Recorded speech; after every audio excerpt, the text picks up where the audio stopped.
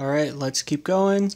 Now we're on exercise 5, but as you can see it says to use exercise 4, and so I've included that one up here just for reference.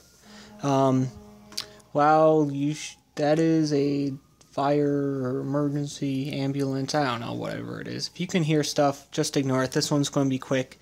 So we're looking at problem 5 here, and so basically the first thing that we're going to do is um, we want to be able to write nu 1 plus nu 2 and work with this sign measure.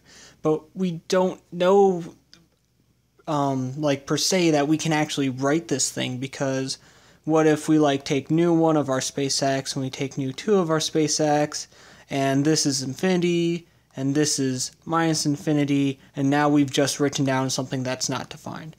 Um, so what we have to do is we have to explicitly state that we're using this fact. So since um, nu 1 and nu 2 both omit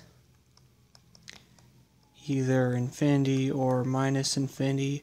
So like maybe one one can be finite and one could be plus or minus infinity, or they could both take the value infinity, or they could both take minus infinity, but they can't have one is infinity and the other is minus infinity.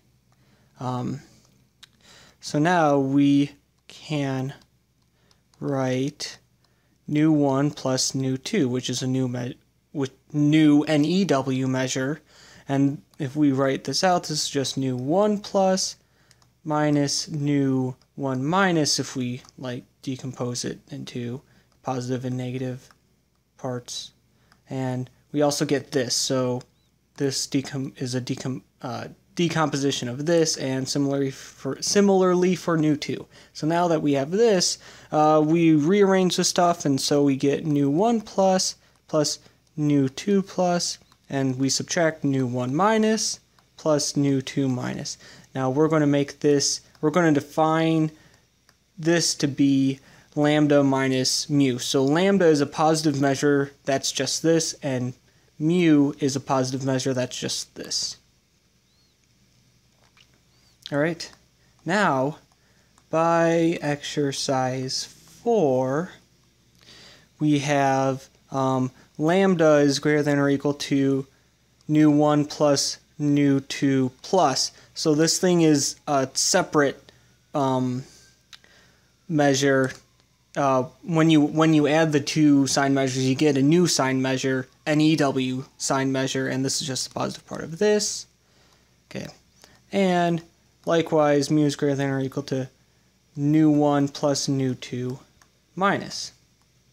So then we have um, variation of nu 1 plus variation nu 2. Well, what is this? This is just nu 1 plus plus nu 1 minus plus nu 2 plus plus nu 2 minus. And what is this? This is just lambda plus mu because we see we get the nu 1 plus and the nu 2 plus, and that's that, and then we get nu 1 minus, nu 2 minus, and that's just this, and because we had the minus here, we gotta account for that and stuff. And anyways, this is what we get. Do, do, do. I, there. Okay. Um, and so now what is this? This is greater than or equal to, by what we just proved, nu 1, 2 plus new, nu 1 plus nu 2 plus, plus nu 1 plus nu 2 minus, and that's just equal to nu 1 plus nu 2. And we're done.